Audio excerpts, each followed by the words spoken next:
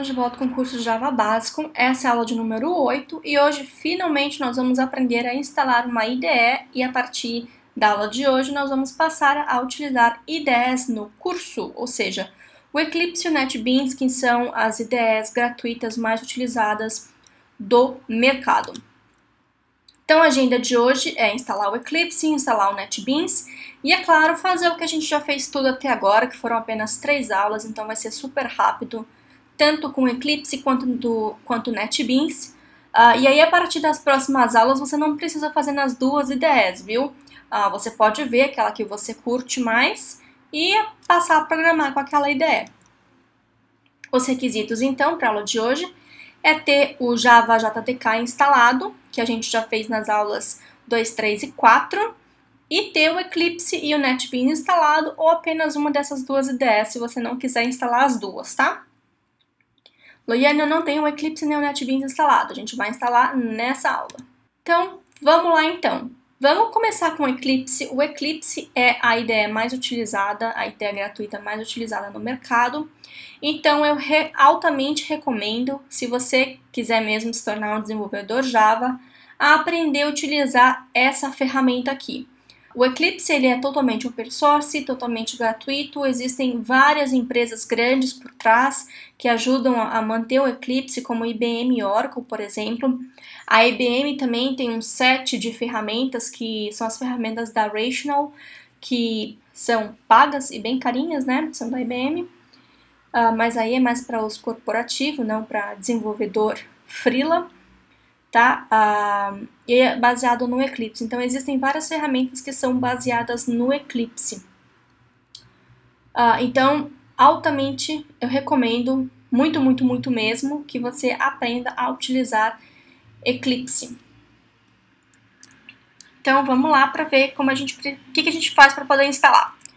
Primeira coisa, você vai entrar naquele link que está no slide, que é o eclipse.org. Chegando aqui, você vai dar de cara com essa página aqui, tá? Você vai clicar em Downloads, e aí você vai vir para a página de downloads, e aí, olha que legal, quantas opções. Loiane, qual que é a opção que eu, que eu posso utilizar?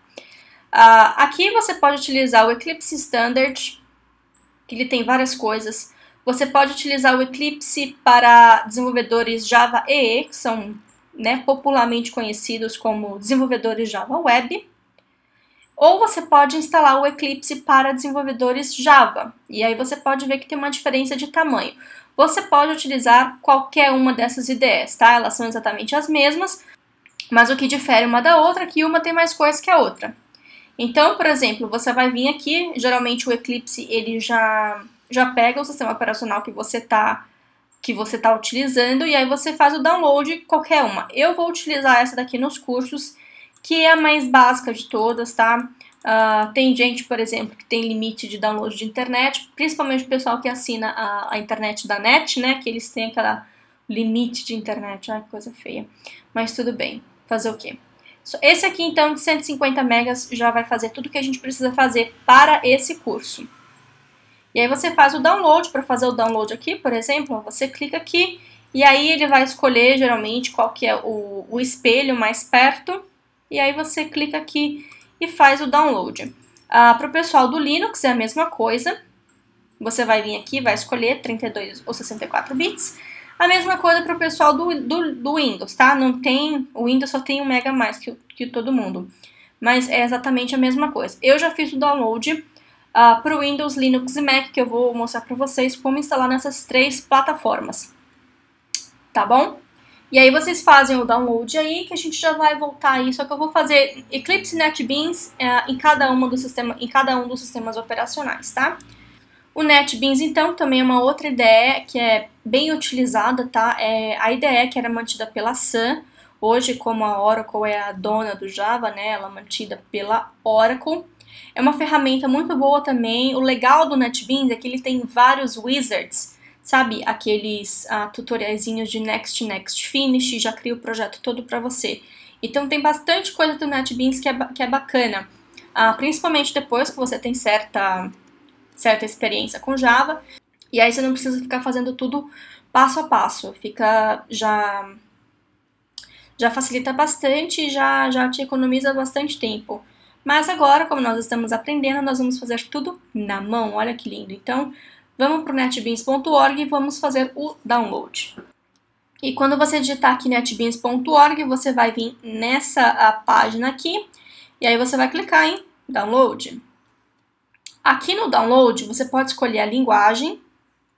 Então, se você quiser, por exemplo, em português Brasil, você pode escolher em português Brasil. Uh, eu recomendo altamente vocês a fazerem um download em inglês, principalmente para quem aí não está muito confortável com inglês ainda, praticar inglês. Uh, uma dica que eu dou para todo profissional, né, para todo profissional de TI, principalmente os desenvolvedores. Saber programar é extremamente importante, é claro, você precisa saber lógica de programação e tal. E saber inglês é mais importante ainda, porque todo material que você, que você encontra, todo livro que fresquinho que está saindo no mercado está saindo em inglês e até ser traduzido para português demora um pouquinho. E fora que existem muitos livros em português que têm, têm erros gravíssimos de tradução pessoal traduz termo técnico, que não deveria traduzir termo técnico, tá? Ah, então, recomendo você aprender inglês. Então, por isso, ah, não sei se vocês separaram, o sistema operacional que eu utilizo, geralmente ele está em inglês, eu tento utilizar as ideias em inglês também, que é para praticar bastante, ajuda bastante, tá? Então, ah, no, curso, nas aulas, eu vou fazer, vou mostrar inglês também, até para vocês se acostumarem com os termos técnicos em inglês. Português é uma linguagem muito bonita, pessoal, mas na área de TI, inglês é a linguagem que domina. Então, por favor, aprendam inglês. Isso vai ser uma coisa muito importante para a carreira de vocês, tá? Inclusive no mercado de trabalho. Tem, tem empresa multinacional, fazendo um off-topic aí, já falando um pouquinho de mercado de trabalho tem muitas empresas multinacionais que contratam que contratam uma pessoa não tão boa tecnicamente, mas que tenha um inglês fluente ou quase fluente, porque é extremamente difícil você encontrar hoje em dia um profissional que saiba inglês no mercado. É mais fácil se o cara não souber muito bem Eclipse, NetBeans ou não souber muito bem Java, você dá um treinamento, pagar um treinamento para essa pessoa, porque em um, dois meses essa pessoa vai estar, tá, já vai ter aprendido a tecnologia. Agora, inglês demora muito mais, não é? Vou dar um ano de curso para a pessoa, a pessoa não vai aprender inglês em um ano de curso, tá? Demora um pouco mais.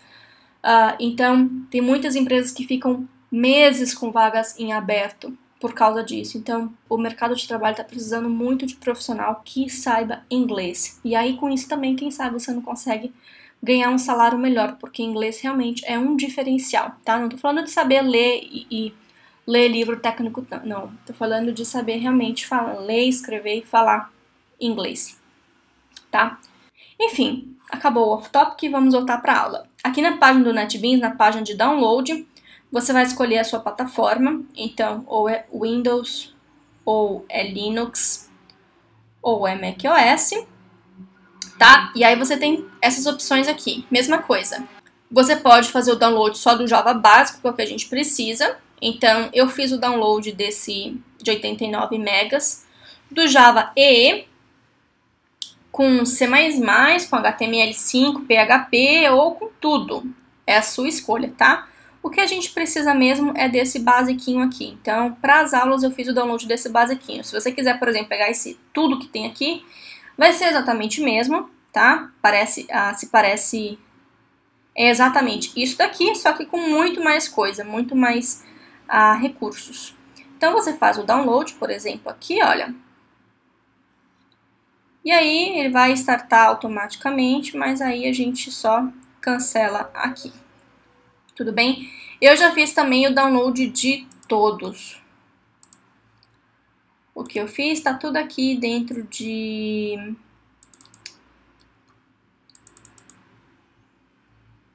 Tá dentro desse Java Installers aqui, que foi onde tem até o instalador do Java. Então eu fiz aqui o Eclipse tanto para Linux, para Mac e para Windows, quanto do NetBeans, tudo bem? Vamos começar então com o, a instalação no Mac, já que a gente já que eu tô aqui no Mac, depois a gente parte tanto para o Windows quanto para o Linux. Então aqui no Mac, olha, você vai escolher, vamos começar pelo Eclipse, tá? O Eclipse é esse Mac OS aqui. Você escolhe, eu já tenho um Eclipse instalado, o meu tá dentro de aplicações, mas eu vou pegar, eu vou copiar, isso aqui é apenas um, o Eclipse é apenas um zip, tá? Então eu vou copiar, por exemplo, para dentro de documentos, desenvolvimento. Eu vou colocar aqui em desenvolvimento, tá? Então vou colar aqui, e olha que difícil a instalação. Você clica, está unzipando, e o Eclipse está instalado, viu como é difícil? E aí você abre essa pastinha do Eclipse e você vai ver um ícone assim, Eclipse. E aí você abre o Eclipse. E aqui ele fala que você precisa do Java SE 6 Runtime e eu tenho o 7. Olha que legal, lindo isso. A gente acabou instalando o 7, né? A gente não instalou o 6. Mas aí ele já instala automaticamente pra gente aqui o Java 6 instalou e agora a gente consegue abrir o Eclipse. Uh, o Eclipse, geralmente, em toda versão que você faz o download, uh, ele tem um nome. Então, o de hoje é o Kepler. Ele vai pedir um workspace, tá? Workspace é um, é um lugar, é uma pasta onde você vai deixar todos os seus projetos. Então, geralmente é em documentos workspace, tá? Mas eu vou mudar aqui, olha, para desenvolvimento curso de Java básico, eu vou criar aqui um, uma pasta chamada Eclipse, para a gente não misturar. E aqui eu vou abrir e vou pedir para utilizar isso aqui como padrão. E aí ele vai abrir o Eclipse para a gente. Então o Eclipse está aberto, está instalado e está aqui aberto. Depois a gente volta para poder fazer tudo que a gente, os exemplos que a gente já fez, tá? Vamos voltar ali e vamos instalar o NetBeans. O NetBeans, ele é um executável, então aqui no Mac ele vai terminar em DMG. E aí vou só você só seguir next, next, finish, partir para o braço. Então aqui, ok, Concordo. Ninguém nunca lê aquele negócio lá, né? Mas tudo bem. Preciso da senha de administrador. E aí está instalando. E a instalação terminou. Então você dá um close. Pode fechar isso aqui também. E aí para abrir, olha, é só você vir aqui e acessar o NetBeans. NetBeans 7.4, que foi o que a gente instalou. espera ele iniciar.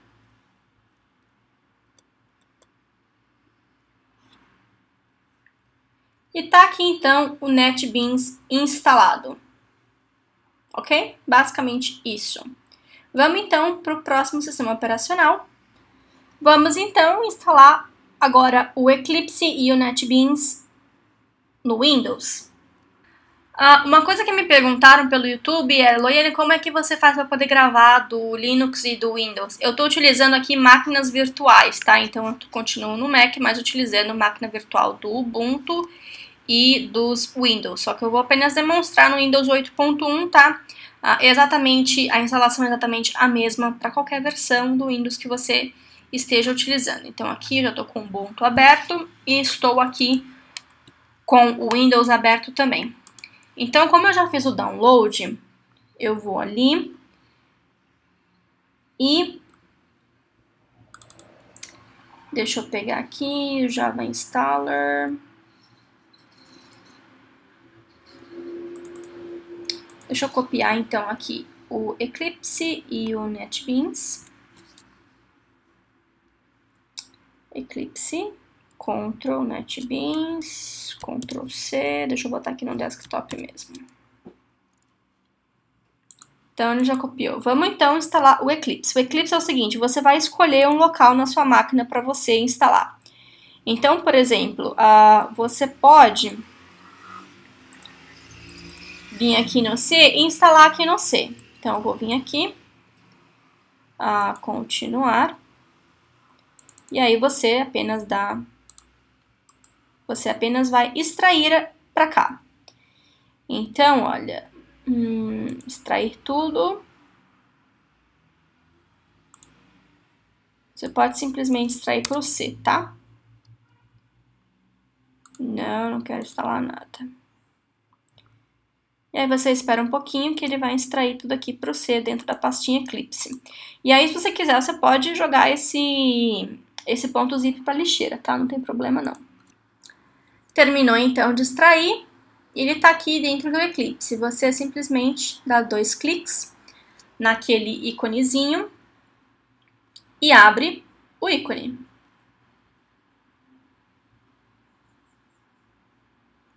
Tá? Não tem segredo, em qualquer, uh, em qualquer sistema operacional é só você unzipar e abrir o executável que está ali dentro. E aí, olha, ele está pedindo para onde que a gente vai criar o nosso workspace. Esse computador, cadê o C? Curso Java básico. Aqui dentro, então, eu vou criar um novo Eclipse.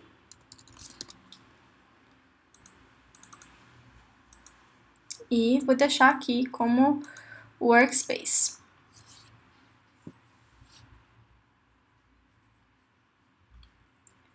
Pode fechar aqui. Se você quiser, por exemplo, ó, você pode enviar isso daqui para o desktop.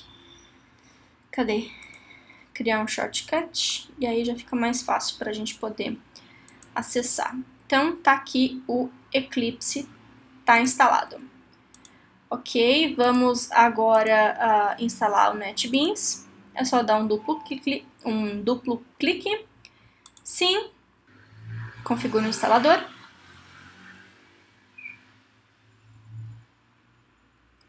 Sim. Aceito os termos. Uh, não quero instalar o JUnit. Se vocês quiserem instalar, podem ficar à vontade para instalar, tá? Ele automaticamente já acha o SDK, então para você instalar o NetBeans você precisa ter o, o, o JDK instalado. Ele já acha automaticamente por causa das variáveis de ambiente, olha que legal.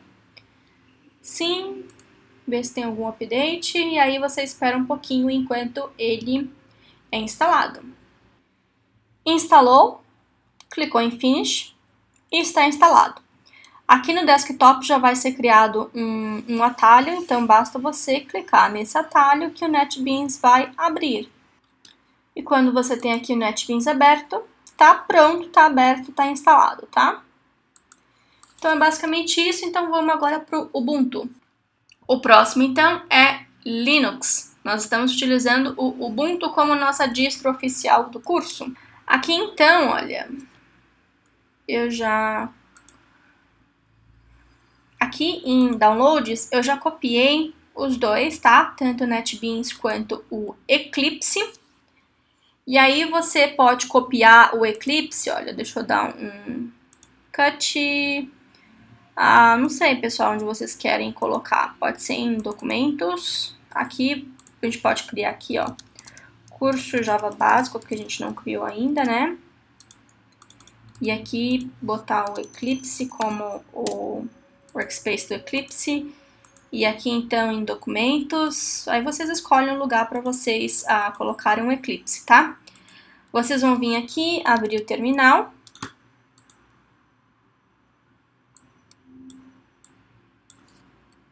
abrir o terminal, vai trocar então aqui para documentos. Então, vão aqui em CD Documents, tá? A gente está dentro de Documents.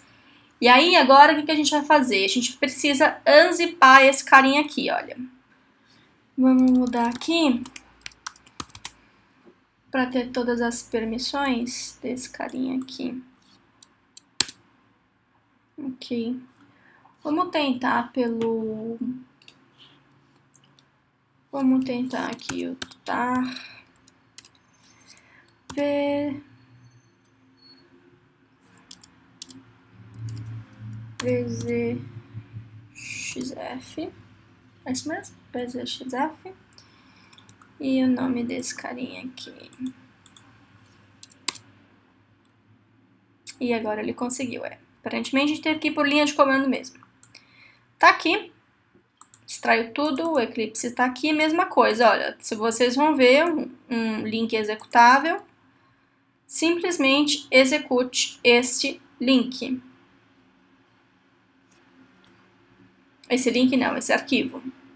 E aqui então a gente vai selecionar ali, olha, lá no documentos, curso Java básico, Eclipse. Selecionar, ok. Como vocês podem ver, é exatamente a mesma coisa. Você só precisa unzipar, independente do sistema operacional que você estiver utilizando. E aí você vai uh, criar um workspace, que é uma pasta onde vão ficar todos os arquivos do Eclipse. O Eclipse está instalado. Agora a gente vai voltar lá para o Downloads e a gente vai instalar agora o NetBeans. Aqui então a gente vai precisar do terminal, tá? A gente muda então aqui para Downloads. Ok. Aí aqui também a gente vai precisar fazer um chmod só para dar permissões de, uh, de extrair, permissões de write também. E aí depois a gente dá, executa aqui. Isso aqui nada mais é que um, um, um shm, ok. Configurando, extraindo e agora é só esperar. É o next, next, finish de qualquer de como nos outros, aceita licença, não quero que instale o JUnity. Ah, ele vai instalar no local NetBeans 7.4, tá ok, instala.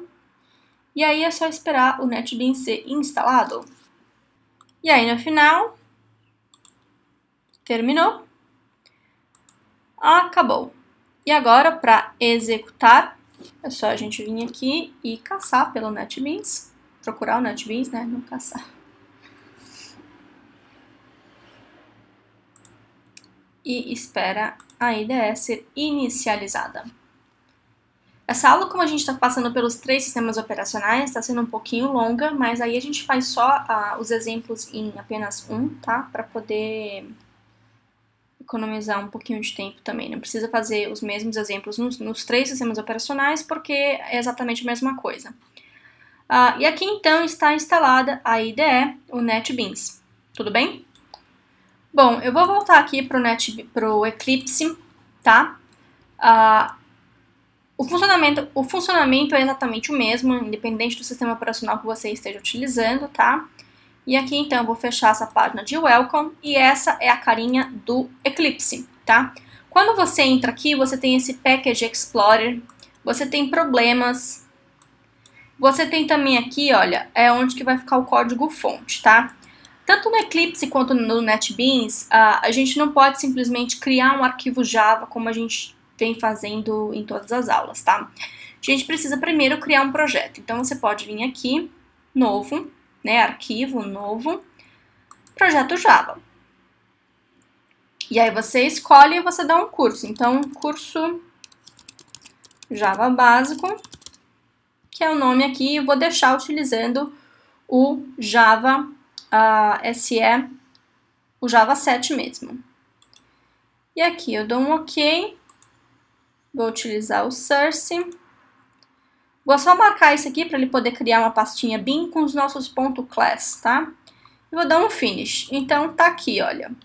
Dentro desse source vai ficar todo o nosso código fonte. E aqui que a gente vai criar as classes, tá bom?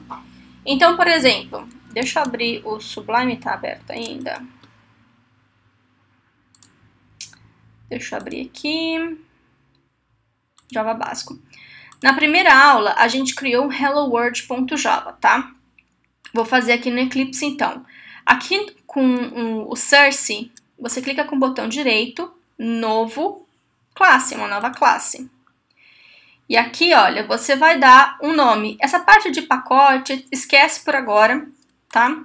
Então, a gente vai dar uma, um novo nome, que é Hello World, tá certo? E aqui, olha que legal, você pode escolher se você quer criar já o Public Static Void Main, que é o ponto de entrada. Então, você pode clicar aqui e dar um Finish. Os modificadores de acesso a padrão ou público tanto faz, tá bom? Por padrão aqui no Eclipse é como público, mas pode ser como default. A gente estava criando até agora cadê? Nossa, tanta coisa aqui. Uh, padrão, sem o público aqui na frente. Aqui no Eclipse a gente está criando como público. Não vai fazer muita diferença pra gente agora, tá?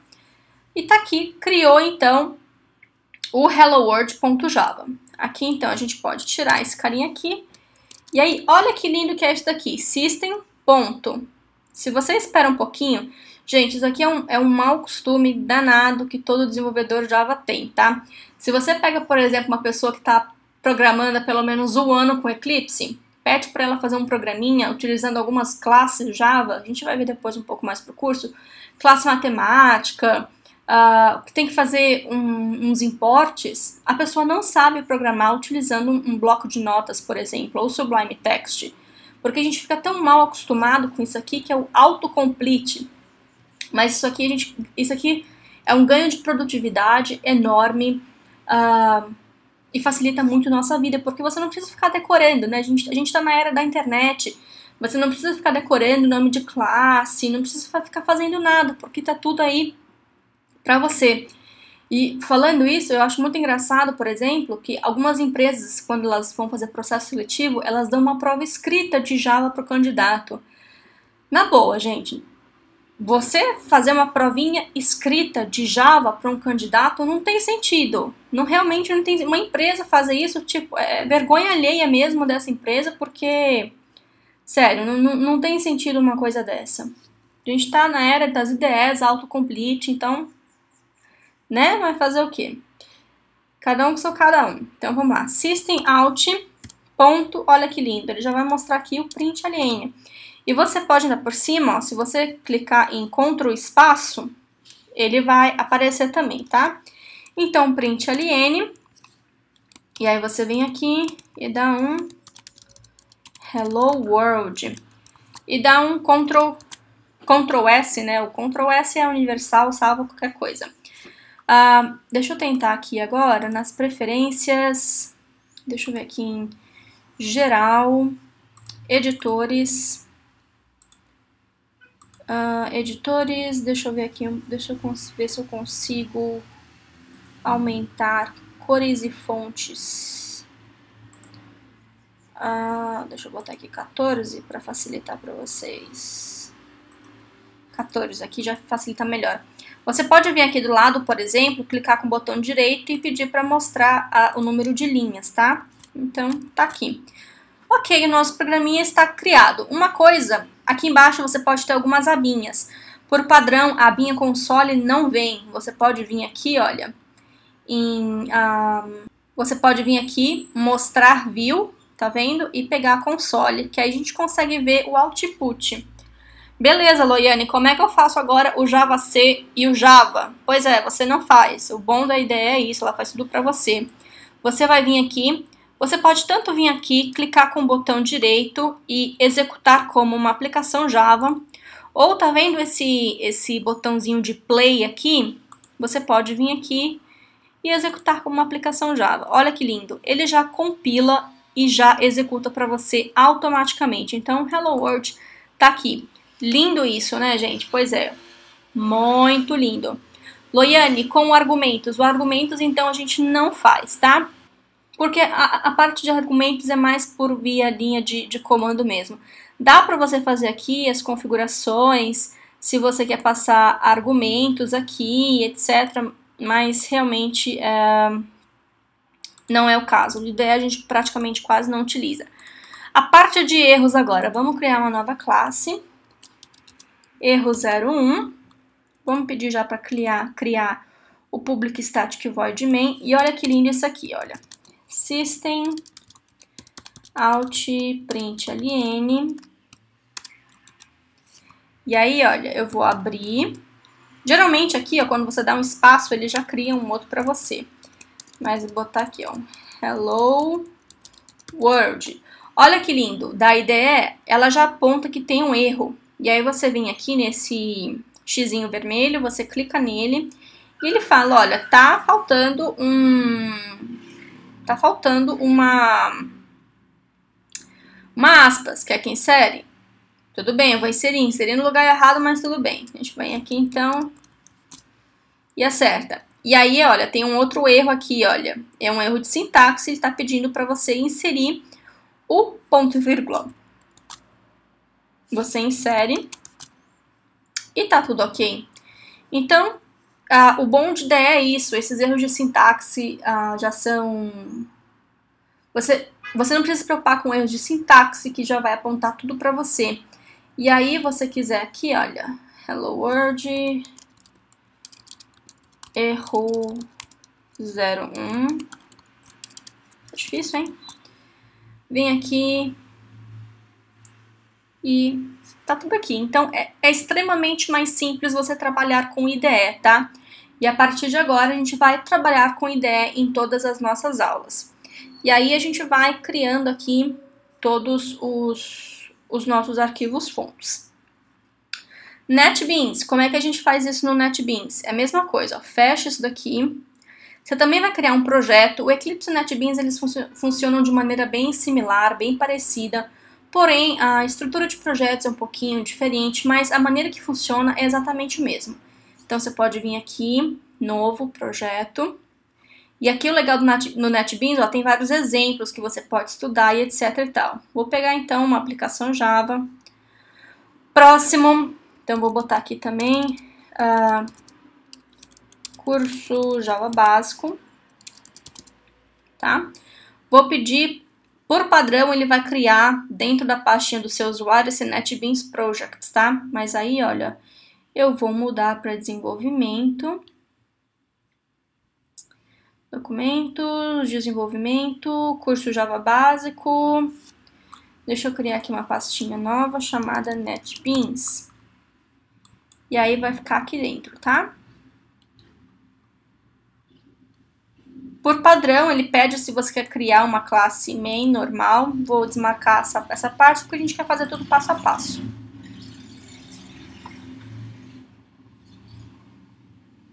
E aí ele também vai criar. Vocês podem ver que está utilizando o Java 7 também.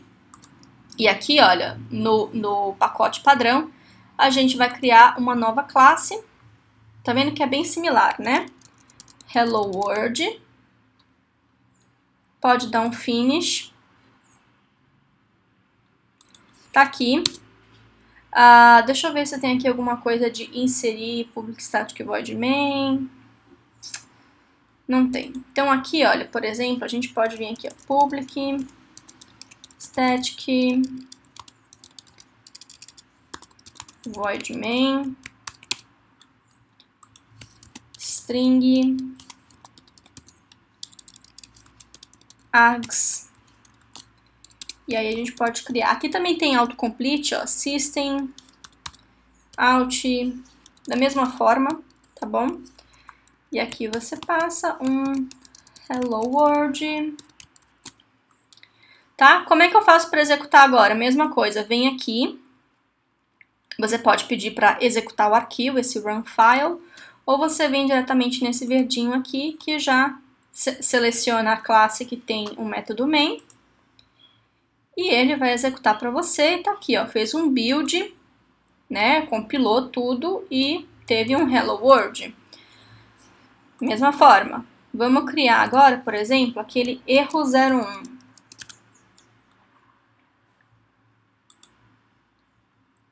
Só vim aqui para facilitar, um Ctrl C, Ctrl V.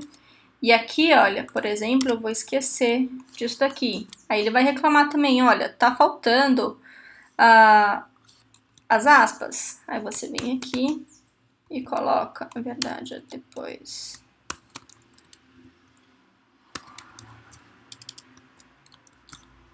Ok, agora tá faltando ponto e vírgula. Da mesma forma, tá?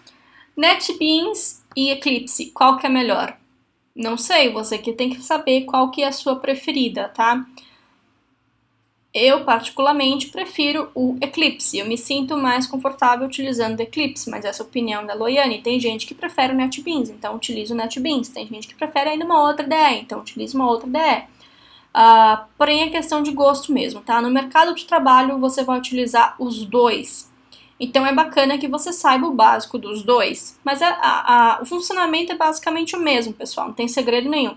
tudo que uma faz, a outra faz também. Vai compilar, tem autocomplete, você vai criar várias coisas. Então, é basicamente isso mesmo, tá? Você pode então escolher com NetBeans ou com o, cadê? O Eclipse. Você, quem sabe, qual que você curte mais. Uh, nas aulas, no início, eu vou fazer sempre com os dois, mas depois eu vou passar a só utilizar um mesmo. Uh, se eu tivesse que falar para vocês, a ideia mais utilizada, baseado na minha experiência pessoal, são quase nove anos aí trabalhando com Java. De todas as empresas que eu já trabalhei, foram quatro empresas que eu já trabalhei nesses nove anos, uh, eu só utilizei o NetBeans uma vez, tá? Todas as outras util utilizam o Eclipse. Então, uma empresa, eu para um projeto específico, que era projeto com JSF, eu utilizei o NetBeans. Uh, em todas as outras empresas, eu utilizei, utilizei o Eclipse. Tá? Ainda tem uma outra ideia que é muito boa também, e aí só para nível de curiosidade, que é o IntelliJ. Só para mostrar para vocês aqui. Essa aqui é uma ferramenta paga, tá? Ela não é tão caro assim, até desenvolvedor. Ano passado eles fizeram uma uma promoção muito boa que você poderia comprar a um preço bem bacana, mas uh, tem muita gente que prefere utilizar. Ela é ótima para quem trabalha com web, tá? Uh, então, uma ferramenta também que eu recomendo, muito boa, tem muita gente que curte aqui, que é o IntelliJ IDEA. Para quem aí depois se interessar um pouquinho em desenvolvimento mobile para Android, Android utiliza uma API Java, né? Então você precisa saber o Java básico para você programar para Android. Uh, o Android Studio, né? Você pode programar para Android utilizando o Eclipse mesmo, ou você pode uh, programar para Android utilizando o Android Studio. O Android Studio ele é baseado nesse IntelliJ IDEA, tá? Então, ótimo, ótimo, ótimo, tá? Ah, e tem aqui vários frameworks que suporta, sem contar JavaScript também. Ah, aproveitando que a gente fez um monte de off-topic aqui também, ah, JavaScript, PHP, enfim, várias coisas. O NetBeans também suporta JavaScript, HTML5, PHP e etc. O Eclipse também, por padrão, também ah, suporta JavaScript, a versão do, do Java EE. Uh, mas aí outras linguagens você tem que ir instalando os módulos. A mesma coisa como o NetBeans. Se você pegar aquela versão completa, vem com tudo, mas aqui você no Eclipse você tem que instalar outras coisinhas. Uh, o Eclipse ele é mais focado em Java mesmo, tá? Java e projetos web, que é claro, vão utilizar CSS, JavaScript e HTML.